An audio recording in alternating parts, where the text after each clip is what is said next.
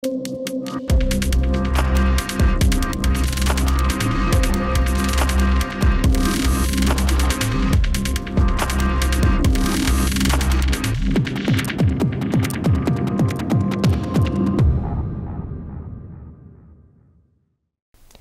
pri sledovaní relácie Živé technológie. V tomto vydaní si povieme o hračkárskom lietadielku, o aplikácii pre horských turistov a o detektívnej hre. Začíname!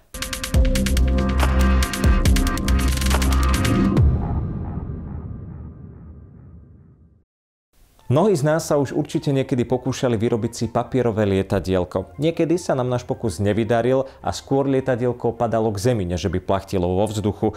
Niekedy sa nám však zadarilo a papierik zostal vo vzduchu pomerne dlho. Technológie sa však nevyhýbajú ani papierovým lietadielkám a vďaka tomu vznikla táto hračka. Volá sa PowerUp a ide o štvrtú generáciu tejto hračky. V skutočnosti je to sada, ktorá dovoluje ovládať papierové lietadielko pomocou mobilného telefónu.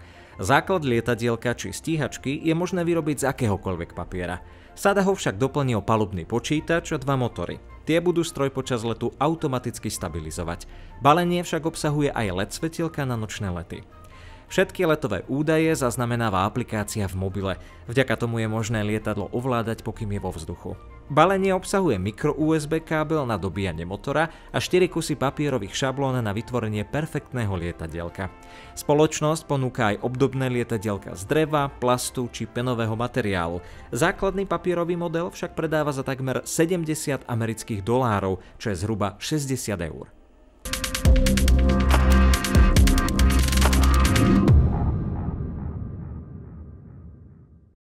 Hovorí sa, že nešťastie nechodí po horách, ale po ľuďoch. Svoje o tom vedia aj horskí záchranári a práve preto vznikla aplikácia, ktorá môže pomôcť zachraňovať životy v horách.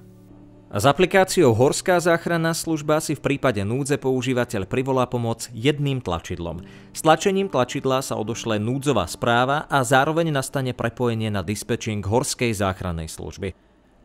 Okrem GPS polohy sa záchranárom vďaka aplikácii posielajú zdravotné údaje, špecifikácia problému, kontakty na blízke osoby a ďalšie dôležité informácie, ktoré urýchlia pomoc. Aplikácia tiež zobrazí horské chaty či informácie o počasí. Trasu si turista vďaka tomuto digitálnemu pomocníkovi môže tiež dôkladne naplánovať. Pomôže mu v tom elektronická kniha Vychádzok a túr, kde si vyberie oblasť pohybu, štart a cieľ túry a jej časové trvanie. Turista vďaka tomu dostane aj varovania a výstrahy pred živelnými alebo inými život ohrozujúcimi udalosťami v danej oblasti.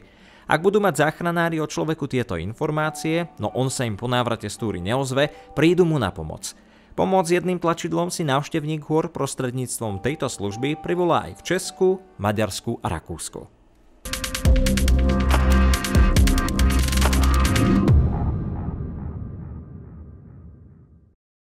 Fanúšikovia detektívnych príbehov určite vedia, že nerozluštiteľné záhady dokázal rozlúsknuť nielen Sherlock Holmes.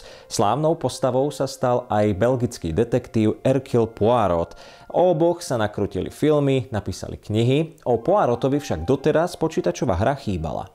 Zmeniť sa to rozhodli tvorcovia hier, ktorí sa pritom spojili so spoločnosťou Agáty Christie. Tá totiž stráži autorské práva k výtvorom Agáty Christie, medzi ktoré patrí aj belgický detektív.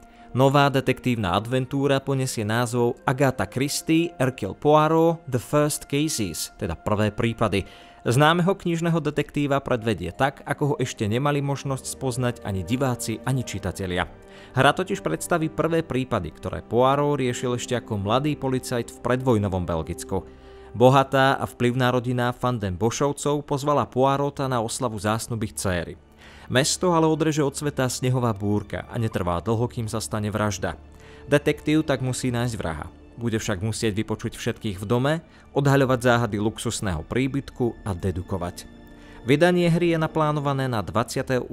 septembra 2021.